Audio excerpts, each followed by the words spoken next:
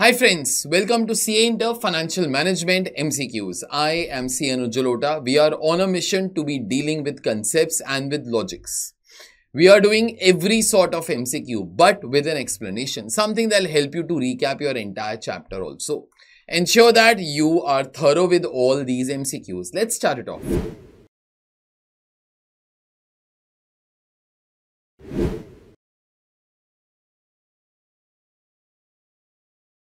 Our question for today is from capital structure. The firm's optimal capital structure is, get me the four options please.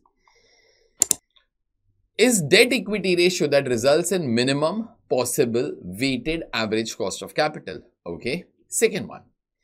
Second one over here is 40% debt and 60% equity. What nonsense. Third, when debt equity ratio is 50-50 and lastly in this case when cost of equity is minimum. I guess most of you all will be able to answer. Please do that at this time.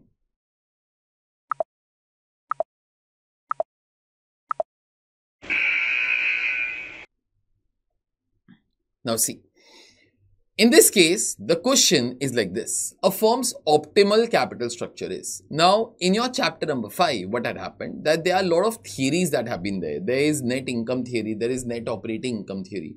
There is a traditional theory. All these theories are all about which is your best capital structure. We often say this particular thing that capital structure is best wherever your KO, KO means overall cost of capital is least. We are only interested in debt and equity to be very honest because all these theories had assumed that, that there is no preference shares. Okay, so therefore there is no concept of preference in all these theories and whichever combination of debt and equity results in the least possible KO, that particular kind of a capital structure is best. If we try to look at the graph in this particular way, it will be something like this. On x-axis, we try to be having debt. On y-axis, we try to have KO. And if we try to make a graph over here that at different levels of debt, how much is KO, there will be one point whereby KO will be least that particular point over here will be the best point. So at this level, if you measure the debt and you measure the equity, we say that debt equity ratio will be the best one. So therefore, that kind of a debt equity ratio is the best one where KO is least. Okay.